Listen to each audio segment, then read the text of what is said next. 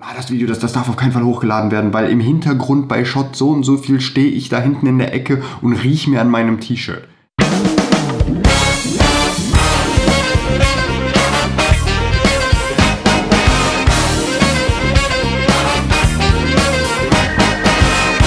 Herzlich willkommen im Podcast von Video Do. Heute zu Gast Damien Cooper. Ich möchte Damien erst einmal kurz vorstellen. Damien Cooper ist in Remscheid geboren, ist 31 Jahre alt, macht gerne Filme und möchte auch weiterhin gerne Filme machen.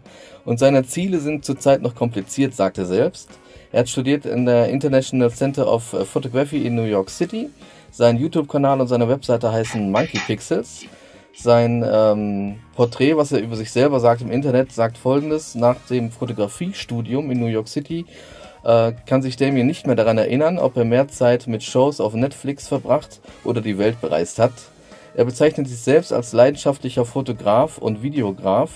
Nach dem Studium hat es ihn äh, nach einem Job nach Wien verschlagen. Er hat sich sofort in die Stadt verliebt und ist seither dort wohnhaft. Er fühlt sich dennoch auf der ganzen Welt zu Hause. Er fotografiert und filmt auf der ganzen Welt, sobald es sich die Gelegenheit dazu bietet. Er selbst sagt, dass er jenseits altmodischer Grenzen überholter Weichzeichner und langweiligen Location arbeitet. Dass er mit dem richtigen Gespür für den Moment und immer wieder neue Ideen, Fotos und Videos unvergesslich gestaltet. Professionelle Arbeit und Zuverlässigkeit sind sein Standard. Er arbeitet weltweit. Damien produziert Musikvideos, Werbevideos und Kurzfilme. Jetzt nochmal kurz, wie Damien auf mich wirkt. Damien ist ein netter, sympathischer, erfolgreicher Videograf. Er zeigt sich motiviert und macht unglaublich gute YouTube-Videos. Ich habe mir natürlich auch schon ein paar angeguckt, die fand ich wirklich mega. Er ähm, ist bereits als Filmemacher der Woche ausgezeichnet worden. Er hilft anderen dabei, mit seinen Videos äh, mehr über die Videoproduktion zu lernen. Eigentlich äh, spricht Damien in seinen ganzen YouTube-Videos immer nur Englisch. Deswegen freut es mich mega, dass er heute mit mir zusammen alles komplett auf Deutsch macht. Ich bedanke mich nochmal recht herzlich dafür. Herzlich willkommen, Damien. Hi. Äh, fangen wir erstmal an mit dem Persönlichen. Du, ähm, wenn dich jetzt jemand fragt, sag mal, Damien, was machst du eigentlich beruflich? Was würdest du demjenigen sagen? Also generell würde ich natürlich sagen, dass ich Filme mache. Ähm, also im Endeffekt bin ich einfach kreativ. Also das ist, glaube ich, das, äh, was bei mir im Vordergrund steht. Also was ich beruflich mache, ist ich, oder, oder möchtest du jetzt ins wirklich Detail eingehen, wo ich sage, okay, ich mache XY-Video für, für Z. Also wir haben gesagt, wir machen eine Stunde, um, ähm. von daher ja, also overall, wie gesagt, ich mache einfach Videos, ähm, versuche mich so kreativ wie möglich zu betätigen in allen möglichen verschiedenen Bereichen. Also das mache ich beruflich, würde ich sagen. Wann hast du mit den Videos angefangen oder wie bist du da überhaupt zu gekommen? Ich glaube, da muss ich ein bisschen weiter ausschweifen. Ähm, also mit Fotografie habe ich angefangen vor bestimmt 12, 13 Jahren etc. Äh, hatte auch mein eigenes Fotostudio in, in Wuppertal. Äh, 200 Quadratmeter, habe wirklich alles damals gemacht, von Hochzeitsfotografie, Events und Porträts und Omas Hund und keine Ahnung was. Also so habe ich quasi angefangen mit dem, mit dem Fotografieren und generell in die kreative Branche zu kommen. Ähm, bin dann auch nach New York gegangen, um dort wirklich komplett durchzustarten äh, als Starfotograf, weil ich immer, das ist nämlich auch wieder das Lustige, weil ich immer sehr eine hohe Affinität für Filme und Serien hatte und das war immer das, wo ich hin wollte, Hollywood. Und als Fotograf, ich bin irgendwie damals nicht auf die Idee gekommen, dass es viel mehr Sinn machen würde, direkt anfangen zu filmen, wenn man in den Bereich will. Aber ja, also das war mein Plan, deswegen bin ich dann auch nach New York gegangen, habe dort auch nochmal studiert. Ich habe mir vorher alles autodidaktisch beigebracht, wollte aber wissen, wenn ich jetzt für die Agenturen arbeite oder wirklich in diesem Bereich hochklassig arbeite, dass ähm, meine Autodidaktik nicht irgendwo an Grenzen stößt und mir die dann bei der Agentur sagen, hey, aber kannst du bitte in dem und dem Format fotografieren und ich überhaupt keine Ahnung, was die von mir wollen. Äh, deswegen bin ich halt nochmal an die Uni gegangen, habe dann dort studiert und jetzt kommt der etwas ausschweifendere Teil. Ich habe mir dann in New York mein Studium durchs Pokern finanziert, ähm, weil ich auch in New York niemanden kannte und habe dann halt dort äh, halt in der Untergrundszene gepokert, habe mir dadurch das Studium finanziert, hab dann aber irgendwann gemerkt, dass es viel einfacher ist, Geld mit Pokern zu verdienen als mit der Fotografie und bin dann irgendwann ein bisschen beim Pokern hängen geblieben. Ähm, so bin ich auch nach Wien gekommen, weil in Wien ist äh, Pokern steuerfrei und deswegen bin ich dann quasi hierhin gekommen. Hab dann hier jahrelang, hier habe ich dann noch den Job des Creative Directors für ein Casino bekommen. Das habe ich aber nach drei Monaten gekündigt, weil mir das einfach die Leute so auf die Nerven gegangen sind, dass ich dachte, das ist nichts für mich. Habe dann jahrelang nur noch gepokert, habe gar nichts mehr mit der Kreativbranche zu tun gehabt, habe sogar meine Kameras verkauft, hatte dann über Jahre lang gar nichts mehr damit zu tun. Habe dann aber sehr schnell gemerkt, dass ich unbedingt wieder kreativ sein will. Und das Pokern ist halt, da ist überhaupt kein Raum für Kreativität. Das ist wirklich Lösung A, äh, beziehungsweise Problem A, Lösung B. Ähm, und wollte dann immer wieder mehr in den, in den Markt einsteigen. Aber Fotografie ist, also ich persönlich würde jetzt nicht vielen Leuten raten, heutzutage noch in der Fotografie professionell neu einzusteigen, weil ich glaube, der Markt ist komplett übersättigt und die Kameras werden immer besser etc. Ähm, das heißt, das war nicht wirklich eine Option. Was ich dann gemacht habe, ist, ich habe einen YouTube-Channel eröffnet, habe mir wieder eine kleine Spiegelreflexkamera gekauft und habe Vlogs gemacht über mein Leben als Pokerspieler. Weil ich halt auch viel durch die Welt gereist bin und Poker gespielt habe und es ja schon eher irgendwas anderes ist, habe ich dann halt angefangen zu vloggen. Die Vlogs kamen super an. Ähm, und ich habe mich dann kreativ ausgetobt, habe dann aber gemerkt, dass wenn ich nicht wirklich dediziert die ganze Zeit über Poker rede, interessiert es keine Sau. Und da mich zu dem Zeitpunkt Pokern einfach gar nicht mehr interessiert hat, sondern das Videos machen einfach viel mehr interessiert hat als das Pokern, habe ich dann immer mehr den Content Richtung Videos machen geschiftet, wo dann auch die Views ziemlich weiter runtergingen, weil die Leute halt wirklich nur fürs Pokern sich interessiert haben. Und dann habe ich irgendwann den Leap of Faith äh, genommen, wie man so schön sagt, und habe gesagt, okay, ich... Äh, will jetzt doch wieder nur noch Videos machen. Habe dann meine alte Fotografie-Webseite gemacht, habe mit meiner ähm, Freundin habe ein Video online gestellt, einfach so ein kleines Reisevideo, wie man so will, mit einem kleinen Voice-Over, habe das online gestellt und habe einfach gesagt, so, Damien Cooper ist wieder open for business, wer möchte, der kann. Und von da an ging es dann extrem steil nach oben. Ich wurde fünf Minuten, nachdem ich die Website online gestellt habe, von einem Kumpel von mir, der gerade eine riesen Firma gegründet hat, äh, angefragt, der möchte gerne, die brauchen jemanden für Videos, der fand das Video so geil kann, kann ich nicht 100 Stunden im Monat für die äh, Videos produzieren. Und das war natürlich dann schon ein super Start im Monat 1. Ja, und ab dann ging es dann halt los. Und wann war das jetzt ungefähr? Wann hast du gestartet wieder mit der Videobranche? Äh, ziemlich genau vor einem Jahr. Vor einem Jahr? Wow, das ist aber. Weil dein, dein Kanal Monkey Pixels wurde nämlich mehrfach ähm, äh, bei, bei, dem, bei den ganzen Facebook-Gruppen immer so, ja, da müsst ihr unbedingt drauf, der erzählt viel und macht guten Content und so. Also wenn du es so vor einem Jahr gestartet hast, Respekt, also nicht schlecht. Ich meine, also den Channel ja, Entschuldigung, wenn ich unterbreche. Also den Channel haben wir erst vor sieben Wochen gestartet. Ähm, und ich sage jetzt auch wir, weil du immer du sagst und auch in der Introduction. Und ähm, also Monkey Pixels mache ich auch nicht alleine. Also ich bin schon Inhaber und äh, ich bin natürlich auch die ganze Zeit vor der Kamera. Ähm, aber da arbeiten natürlich auch noch andere Leute mit und äh, also mit meiner Freundin äh, Belinda Schönberger. Und sie macht zum Beispiel die ganzen YouTube-Videos, sie bearbeitet die und den ganzen Kram. Also ich sitze da wirklich nur, drücke auf Record und äh, rede, also die ganzen visuellen Sachen auf dem YouTube-Channel ist also ihre Arbeit und auch alle möglichen anderen kommerziellen Sachen, die wir machen, machen wir zusammen und sie filmt halt mit oder macht Ton oder was auch immer. Also äh, nur das mal ganz kurz nebenbei angemerkt. Aber ja, den haben wir vor, vor sieben Wochen gestartet. Ja, nicht schlecht. Also da Wahnsinn, wie das viral abgeht. Also, also wie gesagt, Facebook redet nur von Monkey Pixel. Ich meine, das ist natürlich auch ein cooler Name, der auch im Kopf bleibt. Ähm, ja, jetzt nochmal, also vor einem Jahr hast du angefangen und dann würdest du auch sagen, dann wurde es auch professionell vor einem Jahr. Ich habe wirklich ziemlich genau zeitgleich angefangen. Ich bin immer, ich bin sehr ungeduldig und ich lebe immer ein bisschen schneller als andere Leute. Also wenn dann direkt. Ähm, aber ja, vor etwas über einem Jahr habe ich wirklich noch keine Ahnung gehabt, wie man überhaupt Slow Motion in der Kamera filmt und habe mich damit Nüsse ausgekannt. Ich weiß, ich habe dann immer mit meiner Freundin damals sind wir Inlineskaten gewesen und ich habe versucht, sie beim Inlineskaten zu filmen. Das ist eine absolute Katastrophe gewesen. Du findest, also ich habe das Video auch gesehen, ich fand's cool. Also hast du ja auf deiner Webseite auch drauf mit dem, mit dem Inlineskaten. Also ich find's cool mein erster bezahlter Auftrag war dann, also dann hat mich, äh, ich habe CrossFit ziemlich viel gemacht und mein damaliges CrossFit-Gym hat mich gefragt, die haben einen Wettkampf, ob ich nicht, äh, haben da halt auch das Video gesehen auf Facebook, haben gesagt, hey, du filmst doch, hättest du nicht Bock, das zu filmen und so. Und dann habe ich gesagt, okay, habe denen auch einen Sonderpreis gemacht zu dem Zeitpunkt. Ähm, und das war dann mein absolut erster bezahlter Auftrag. Ähm, das Video kam so gut an, das wurde innerhalb von zwei Tagen, glaube ich, 110 Mal auf Facebook geshared oder so nach dem Event, als es hochgeladen wurde. Und das haben natürlich dann auch viele Leute gesehen und direkt daraufhin hat uns dann eine Schönheitsklinik hier in Wien gebucht, äh, die das Video gesehen haben. Die wollten einen neuen Imagefilm haben. Und dann ging es auch wirklich direkt rapide nach oben. Also dann waren wir, also ich habe im Juni habe ich das äh, Gewerbe äh, überhaupt angemeldet, dass ich gesagt habe, okay, ab Juni fange ich an, das professionell zu machen. Und im November waren wir schon 31 Tage oder 30 Tage, wie viel auch immer der November äh, hat, ausgebucht in vier verschiedenen Ländern. Also wirklich 30 Tage lang haben wir jeden Tag irgendwas in irgendeinem Land äh, auf der Welt gefilmt.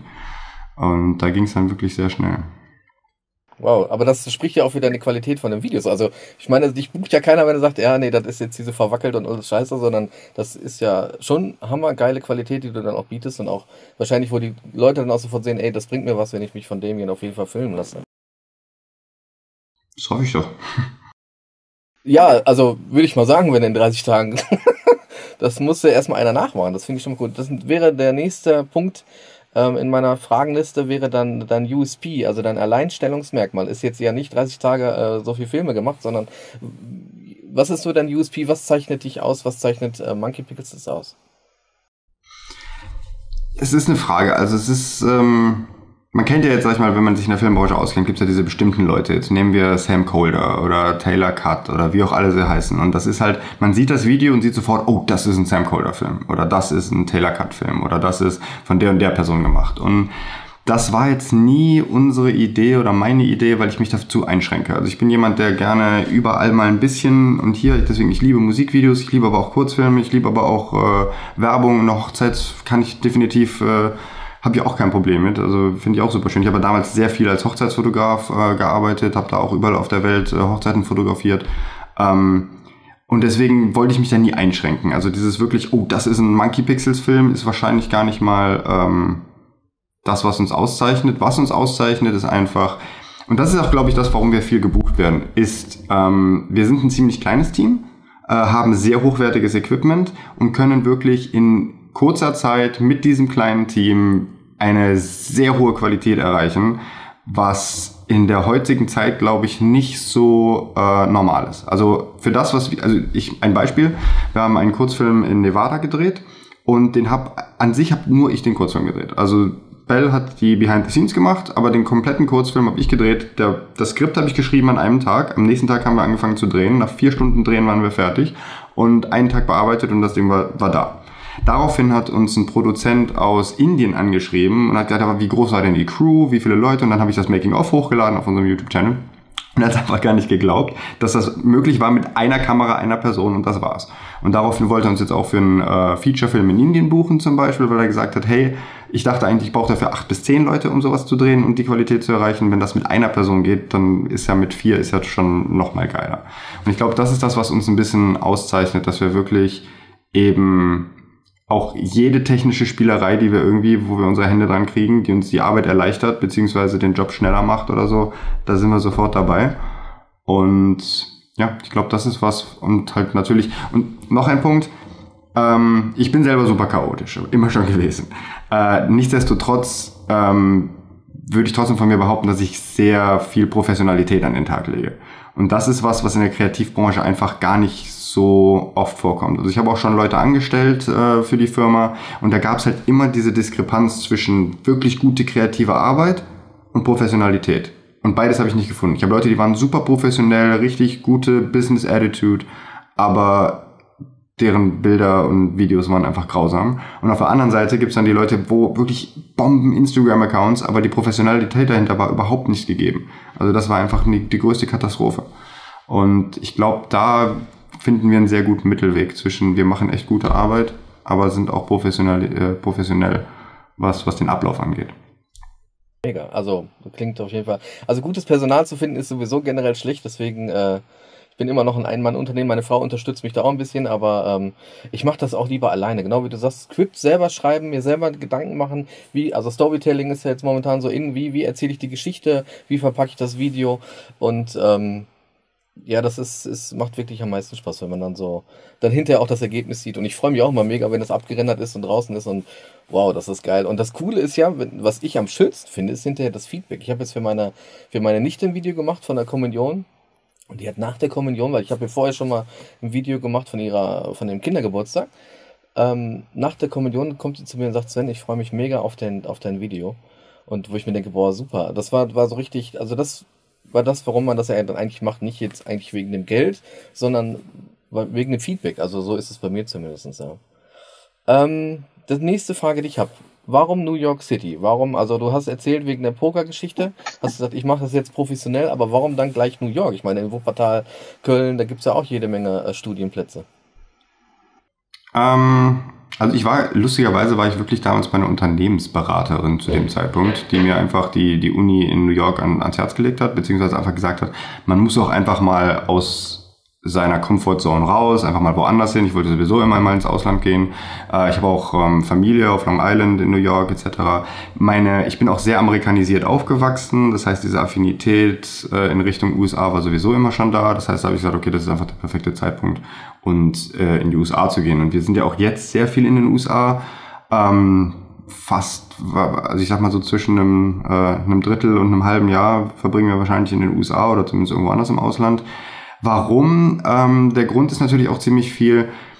Die Branche, in die wir wirklich wollen, die ist meiner Meinung nach in, in also in Österreich sowieso nicht und in Deutschland schon mehr, aber die ist einfach nicht vorhanden.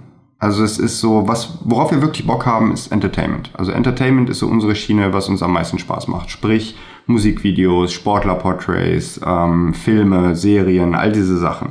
Und die gibt's einfach hier nicht so wirklich. Also mit hier meine ich jetzt sowohl Österreich als auch als Deutschland. Also das ist, die Budgets sind kleiner, die Förderung ist irgendwie nicht da. Das heißt, wirklich so richtig viele Serienfilme gibt's nicht. Plus, ich persönlich, wie gesagt, ich wurde sehr, äh, ich bin sehr amerikanisiert aufgewachsen. Ich habe schon, als ich klein war, nur noch Serien und Filme auf Englisch geschaut. Ich lese Bücher nur noch auf Englisch. Ich höre nur englische Musik. Ich, mein Handy, mein Computer, alles ist bei mir auf Englisch. Äh, hat irgendwie keinen Sinn für mich gemacht, jetzt irgendwie Content auf Deutsch zu kreieren oder halt in Deutschland das großartig zu machen.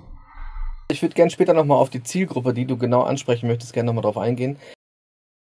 Nochmal weiter. Ähm, genau, Englisch haben wir jetzt. Äh, warum gerade Englisch? Das war ja die nächste Frage eigentlich. Hast du mir vorweggenommen. Okay. Ähm, jetzt für mich ist wichtig, du hast das ja gelernt, du hast gesagt, du hast dir das selber beigebracht, so habe ich das verstanden. Wie bildest du dich denn jetzt momentan immer weiter? Also du, du filmst und dann lernst du wahrscheinlich selber empirische Sachen. Äh, was habe ich falsch gemacht? Wie könnte ich es besser machen? Und wie bildest du dich so generell weiter? Was sind so deine Tutorials, die du, die du nimmst? Also Learning by Doing ist definitiv für mich das, das Wichtigste. Und so habe ich auch schon mit der Fotografie angefangen. Ich, ähm, ich schaue mir ein Video an, was ich richtig geil finde und dann stelle ich das so in etwa nach. So, und dann sage ich mir, okay, wie hat er das denn gemacht? Wie funktioniert das denn? Okay, das will ich auch machen. Und dann mache ich ein Video, das dem ähnlich ist. Und dabei findet man dann auch seinen eigenen Stil. Gerade wenn man halt sich 10, 15 verschiedene Leute anschaut und der macht was Geiles und der macht was Geiles. Irgendwann gefallen dir dann die Sachen, die der am besten macht und die, die der am besten macht, was dir am besten gefällt. Und das kreierst du dann irgendwie dadurch deinen eigenen Stil, indem du das kombinierst. Also Learning by Doing ist definitiv bei mir ganz oben ähm, aber auch nicht unbedingt das Einzige. Also ich habe, ähm, jetzt sag ich mal, wenn es um Color Grading geht, dann, dann lade ich mir da auch wirklich bezahlte Tutorials runter. Ähm, oder, also ich habe auch kein Problem damit, Geld in die Hand zu nehmen für sowas. Ich habe jetzt, also Filmstudium zum Beispiel wäre für mich definitiv nichts. Das wird mir auch einfach viel zu lange dauern. Ich habe Freunde, die Film studieren und wenn ich mir da deren Curriculum anschaue, dann denke ich mir, das dauert mir einfach viel zu lange, was die, bis die da an Punkt B sind das, keine Ahnung. Ich habe letztes Mal in der, in der Videomachergruppe, wo du das gerade sagst mit dem Studium, es gibt ja auch nicht nur Studiumgänge, sondern es gibt ja auch diesen Mediendesigner oder so heißt das, kann, ich glaube Ausbildung oder ich, ich weiß nicht genau. Auf jeden Fall hat einer geschrieben von der IRK-Prüfung, wurde gefragt, welches Kabel äh, das und das ist und welche Bedeutung. Wo ich mir denke, ey Leute, was muss ich denn wissen, was das für ein scheiß Kabel ist? Also das interessiert mich doch nicht. Aber das sind so typisch, finde ich, in der Ausbildung, im Studium Dinge, die abgefragt werden. Ich meine, die müssen geprüft werden, das steht auf dem Zettel, dann können sie sagen, okay, Note 1 bis 6, okay. Aber das braucht keine Sau, finde ich, wirklich in der Praxis. Also ich würde es genau so machen, wie, also ich würde jedem empfehlen, so wie du, einfach anfangen, üben, mach ein geiles Video und sag, ey, wenn das gefällt, ich mach's mal online und schau mal, was passiert. Und dann geht das natürlich ab. Ich meine, das war natürlich ein riesen, riesen Erfolg dann auf einmal. Ähm, jetzt nochmal zu dir persönlich. Ähm, was macht, macht dein Video denn unvergesslich? Oder wo, wo legst du unbedingt Wert drauf, auch bei deinen Videos? Ja, das ist die Frage, mit der ich am am meisten Problem habe. Weil, also ich bin schon ein sehr perfektionistischer Mensch und sage, ich möchte da, also ich versuche dann wirklich, also wenn irgendwas in diesem Video ist, was mich stört, wo ich sage, oh, das ist nicht perfekt, dann, dann muss ich da einfach nochmal rangehen. Also das war zum Beispiel, da habe ich das Audio verkackt einfach mal bei, für einen Kundenauftrag. Dem Kunden ist das überhaupt nicht aufgefallen, der fand das super toll. Aber mich hat das so gestört, dass ich sogar extra Geld investiert habe, um noch einen Profi quasi daran zu holen, der das nochmal verbessert, obwohl ich das, das habe ich aus eigener Tasche gezahlt quasi. Also ich denke mal so overall so ein bisschen Perfektionismus bei, bei vielen Sachen. Ähm, das steht einem manchmal auch ein bisschen im Weg, dieser Perfektionismus, oder? Absolut, also das ist keine Frage. Also ich kontrolliere mein Video dreimal, bevor ich es, also jetzt gerade am Brautpaar, bevor ich das rausgebe und ich bin jedes Mal, ich muss dazu, mein erstes Video, was ich so verkackt habe, da habe ich ähm, alle Kameras eingestellt. Erstmal waren es gefühlte 60 Grad in dem Raum. Ich habe geschwitzt ohne Ende. Die andere Kamera ist ausgegangen, weil die war überhitzt. War auch mega geil. Und dann äh, stehen die auf einmal auf und geben sich das Ja-Wort. Das ist immer so, die warten ja nicht auf den Videografen und sagen, okay, jetzt stellt er erstmal seine Kameras ein und dann machen wir weiter. Die sind aufgestanden, ja, ja. Fertig. Und ich stehe da, oh scheiße. Und ich hatte die nur bis hier drauf. Ich hatte das Ja-Wort nicht gefilmt bei meinem allerersten Shoot. Das war so. Und ich habe es genau wie du gemacht. Ich habe so geschnitten, dass es nicht aufgefallen ist. Ich habe später, wo die sich beide nochmal Ja gesagt haben, diese Szene verwendet als, als Ja-Wort. Und äh, ich möchte auch nicht sagen, welches Brautpaar das war. Das, die würden mir das wahrscheinlich übel nehmen. Aber das äh, ist nicht aufgefallen. Und ich habe so gebibbert. Ich habe es abgeschickt, habe gedacht, scheiße, hoffentlich fällt das nicht auf. Und das ist nicht aufgefallen. Das ist wirklich cool, was man so mit Videos machen kann. Ähm, was, das bringt mich eigentlich, das ist ein ganz guter Anstoß, weil, und ich glaube, das ist das, was, was unsere Videos auszeichnet, ist einfach, ich persönlich war schon immer jemand, der ein sehr breites Interessensgebiet hat und sich auch sehr schnell irgendwo reinsteigert. Also ich war nie so ein geradliniger Mensch, der sagt, oh, das finde ich cool und dann mache ich das über eine komplette Zeit, weil mir super schnell langweilig wird. Das heißt, ich habe mit der Fotografie angefangen, ich habe sehr viel Sport gemacht, ich habe ähm, jetzt halt dann mit dem Video etc. Das heißt, ich glaube, was uns auszeichnet oder auch mich auszeichnet in meinem Stil, ist diese Flexibilität. Dass ich halt einfach, ähm, der Kunde möchte XY und dann sage ich, okay, das, das kann ich bieten. Weil ich da schon alles irgendwie ausprobiert habe und selber so viel mache. Und ich, hab, ich bin da eben nicht so eingefahren in diesem, hey, ich möchte das und sage, ah, nee, das mache ich aber nicht. Ähm, ich glaube, das ist das, was uns auszeichnet, dass wir einfach so flexibel sind und einfach ähm, eigentlich fast alle Wünsche erfüllen können, sag ich mal. Flexibel finde ich ein schönes Wort. Ich war mal auf einer Hochzeitsmesse, da hat jeder Dritte, hat zu, jeder Zweite hat zu mir gesagt, ja, wir sind individuell. Und dieses Wort individuell finde ich eigentlich, also flexibel finde ich schöner als individuell, weil das ist schon so abgegriffen individuell. Aber genauso muss es ja auch sein. Der Kunde sagt, ich möchte, ich stelle mir das so und so und so und so vor. Was ich immer schwierig finde, ist hinterher dem Kunden, äh, die haben ja alle so ein paar Vorstellungen, wie das ungefähr später aussieht. Und wenn die dann später enttäuscht sind, ja, das sieht jetzt aber nicht so aus, wie ich mir das vorgestellt habe, oder sogar noch besser, oh, das ist ja sogar noch besser, als ich mir das überhaupt vorgestellt habe. Also das ist, äh, wie gehst du denn mit, mit negativer Kritik um? Wenn du jetzt, wird ja auch wahrscheinlich mal gewesen sein, wo du gesagt ja, das war super geil, das Video, aber das und das und das hat mir nicht gefallen. Was, was, was machst du da? Machst du sagst, okay, ich mach das nochmal neu oder?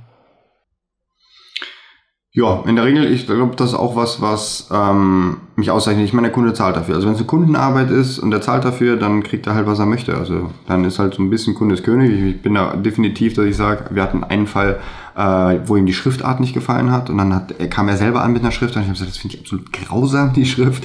Und dann, ich äußere meine Bedenken, äh, je nachdem, wie groß die Bedenken sind, auch wirklich vehement. Aber im Endeffekt, wenn der Kunde das möchte, dann kriegt er das auch.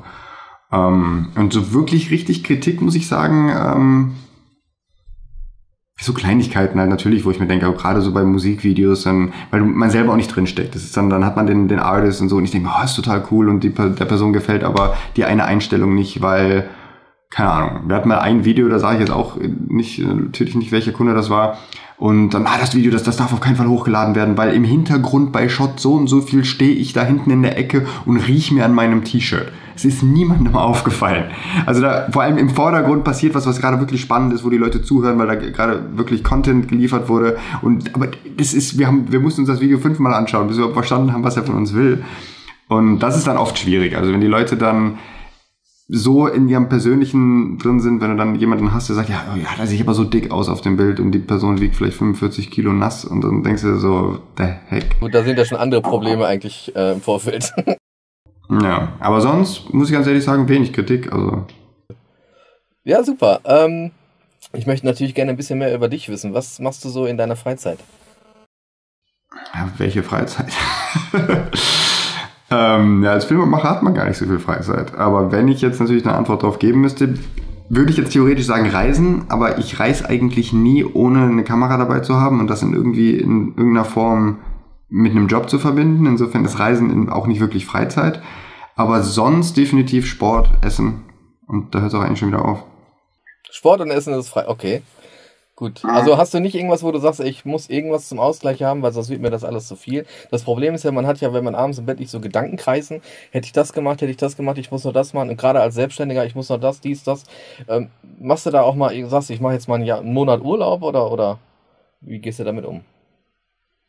Ähm, na, wie gesagt, ich mache das ja auch noch nicht so lange, muss ich sagen. Also ähm, ich war an einem Punkt, wo wir wirklich, ich habe ja vorhin erwähnt, wir waren wirklich 30 Tage ausgebucht.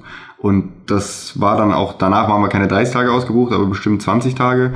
Und das war dann schon extrem stressig. Also wir sind gerade wirklich, ich bin von Portugal nach Wien, von Wien direkt nach LA, von LA nach Wien, dann waren wir hier zwei Tage und sind von der Location, wo wir gefilmt haben, mit unseren Koffern gepackt zum Flughafen nach London geflogen, um dann da von London nach Birmingham, von Birmingham nach Liverpool und weiter überall zu drehen.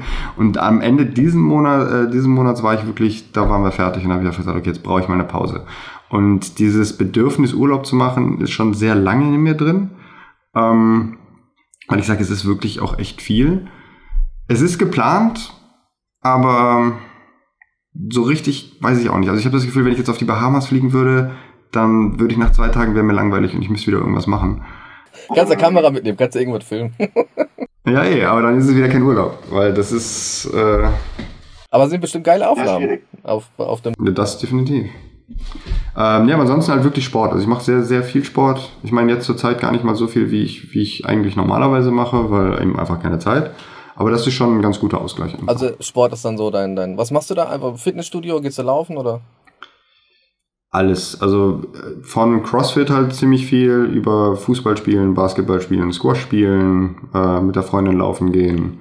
Also da mache ich eigentlich wirklich fast alles. Okay, cool. Ähm, Damien, wie siehst du dich oder was sind so deine Ziele in zehn Jahren? Was, was möchtest du erreichen? Das ist auch wieder eine gute Frage, weil da gibt es immer so, immer so zwei Antworten zu. Und zwar, ähm, als ich das Business gegründet habe, war mir relativ schnell klar, okay, gerade beim Filmemachen, beim Fotografieren finde ich, äh, ist es, da kann man diese One-Man-Band viel länger aufrechterhalten als beim Filmen, weil Filmen ist einfach so extrem komplex. Ähm, und obwohl wir eigentlich ziemlich alles in-house machen, äh, von Schnitt, Kamera, Ton, Musik, also wir machen eigentlich wirklich alles hier, äh, merkt man schon, man stößt schnell an seine Grenzen und man braucht einfach ein größeres Team. Ähm, das heißt, der Plan war eigentlich immer wirklich ein großes Unternehmen, eine wirkliche Medienagentur zu gründen, die alles macht von Konzeptplanung, Ausführung, ähm, Fotografie, Werbung, alles damit haben wir dann auch wirklich angefangen und da gab es auch ein Projekt, wo wir schon mit einer anderen Firma theoretisch das wirklich groß aufgezogen haben und das eigentlich zusammen gründen wollten. Ähm, aber dann kam halt, wie wir schon besprochen haben, die äh, Personalgeschichte dazu. Und es ist wirklich schwierig, gute Leute zu finden. Ja, also sonst langfristig äh, in zehn Jahren, was ich halt wirklich gerne hätte, ist, ich hätte gerne ein Unternehmen und auch nicht mehr hier im deutschsprachigen Rauch, äh, Raum.